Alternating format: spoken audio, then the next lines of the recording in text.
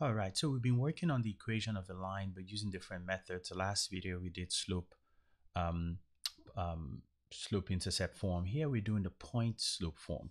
What does the point slope form mean? It means they give you a point, in this case minus 1, minus five, 9, and they give you the slope. Now remember the equation of a line, the formula for the equation of a line is y equal to mx plus b where m is the slope and b is the y-intercept. So in this case, to write this equation, I already know the slope part. I already know the m part. The b is the part I do not know.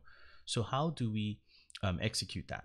The other thing they gave us is the x and the y information. So how about we throw in to this equation the x, the y, and also put in the slope, the m that we know, and then the b would be the only thing we don't know and we could solve for that and then come back and rewrite the whole equation. What do i mean? So let's throw this minus 5 here. So it's minus 5 for the y equal to for the m the m is 9 remember m is 9 i put that there. The x guys is the x you have from this point right here and then plus b if you look at this math right now, we have minus 9, you have 5 there, plus b. You want the b by itself, so you're going to what? Add 9 on both sides.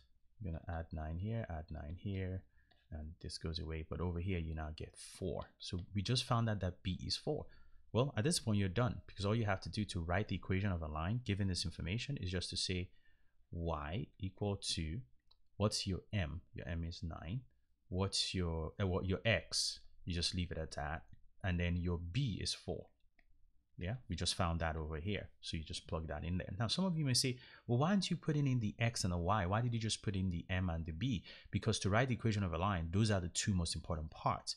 We only put in the x and the y this minus 1 and minus 5 in this initial setup to find that B. Normally you don't plug in X and Y information, you only plug in M and B information. We only plugged in the X and Y to help us find B. And the moment you do that, you don't need to plug them in again, like as we as we have here, we just have Y and X because to write an equation, you must have Y and X anyway. All right, so let's come over here and do the same thing. Again, we're using Y equal to MX plus B. We know the X, we know the Y, and we know the M. Okay, plug all those in here and solve for B. So let's do that. What's your y? 1 equal to, I'm plugging it into this equation up here. What's your m? Your m is 3 over 4. Remember, your m is your slope.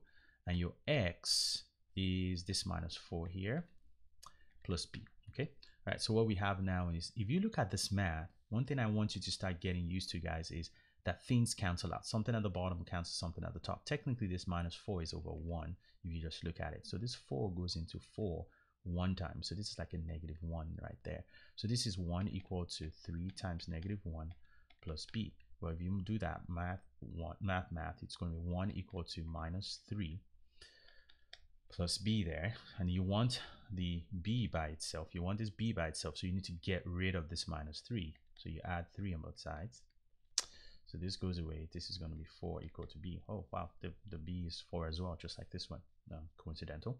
All right, so let's finish this out. Um, so to write the equation of this line then, based on the information we have, it's going to be y equal to, what is my m? My m is 3 over 4 x. What's my b? Plus 4. So this is the equation for this information. For 41 here, it's, it's slightly, it has, there's a little bit more complexity to this one. In this case, unlike in these first two questions I just showed you, this doesn't have a slope. It has points, but it doesn't have a slope. So we need to go find the slope first for this one. So the first thing you need to do is kind of draw this in a plane, kind of see where my slope is going to end up being. Okay, so we have something like that. And uh, the question is, what is your point? Your point is 3 minus 3, which is going to be somewhere here. 3 minus 3, okay? And the other point is minus 3, minus 4, 5. So minus 4 to the left and 5 up. It's going to be here, minus 4, 5. So this is what we have. So if you look at this setup, we can draw a line off of that. Let's draw a line to connect those two points. So we have a line that looks like this. This is how this graph looks. And the question is asking, hey, find the equation, draw, draw um, write the equation of this line. Well, because I have that line drawn out, I can go ahead and do my rise over run, which we talked about in the earlier video, in the previous video. Um, so what I want to do here is to find the slope of this. I want to do the rise over run. Now you could do the rise over run in so many different ways. You can draw a triangle different ways. I'm going to draw my triangle this way this time. So I'm going to go this way. Again, I'm trying to draw a right triangle. Remember, all you need to do is if you can draw a right triangle off of it, you can do the rise of a run. Now, what is this slope doing? Is it a positive slope or a negative slope? It is negative because if you look at it left to right, it is falling, it's coming down. So I know that my slope in this case is going to be a negative something, okay? Negative rise of a run. Rise is how far it's gone up, up, up and down. So how far has it got up and down? I need to look at the y information because up and down is y axis, right? So I look at the y points of my coordinates. My y points are what? Minus 3 to what? 5. Now, if you think about minus 3 to 5, that is a total distance of 8. Now, some of you may look at that and say, hmm, that doesn't make sense. Isn't 5 plus minus 3 2? The way you look at it is, I am on the negative side of the border. Just think of this as a border, right? If you're on the negative 3 miles, if you're negative 3 miles from one border and you're going across the border to the other side, 5 miles, you will have traveled a total of 8 across all, all, all, up and down. So that's where the 8 came from. So it's almost like you add 3 on the negative side and then 5 on the positive side for a total of 8 distance. So let's look at the distance um, on the x-axis, um, the run. Remember, slope is rise over run. For the run, you're going to look at the x information. So you're at minus 4 all going all the way to uh, positive 3, right? Because on the x information, it explains the run negative 4 all the way to positive 3. That's a total distance of 7. So we know the slope here is negative 8 over 7. Okay. Now that we've done that, um, we need to go ahead and find the b, just like we did up here. So our work isn't done at all. So we need to go ahead and find the b. So there are two options for x and y here. In this case, there's no great advantage. If one of these options had been all positive, I probably would have picked that, but both of them had have one negative in them. So I probably would pick this one. I'll probably use X and Y for this guy. All right, so let's um, jump right into it. So actually now I think about it, I probably, I'll, I'll, pick this one instead. I'll pick this one instead. It really doesn't matter. I'll pick this one instead. So my Y equal to MX plus B, my Y is five. My Y is five equal to my M is negative eight over seven. My um, X is negative 4. Actually, one of the reasons I picked this one is because I recognize that my negative for m and my negative for x will multiply and give me a positive. This is why I switched to that. So for those of you that are wondering that, so plus b. Okay. Now I'm doing this so that I can find the b so I can eventually write my equation of a line. Okay. So what is this going to give me? 5 equal to, there is, this 7 doesn't go into anything. So this top is just going to be 32 over 7.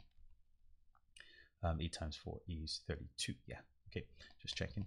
And this is plus b, right? So to find this b, I'm going to need to subtract negative, subtract 32 over 7 on both sides. So minus 32 over 7 minus 32 over 7. This goes away here. So what is my b now? My b is equal to 5 minus 32 over 7. Okay, for this one, you need a common denominator of 7. So if I put a 7 here, I have to multiply 7 here. So right, to get a common denominator. So this ends up being 35 over 7 minus 32 over 7. Okay. Um, whatever you do to the bottom, you do to the top. All right, cool. So what does this mean? This means we end up with um, 35 minus 32 is 3. So it's 3 over 7 there. Okay. All right, so my b is 3 over 7. So let's finish our equation now. We can say y equal to our b, our m, m slope is negative 8 seventh x what's my b? b is plus 3 over 7 and this is your equation.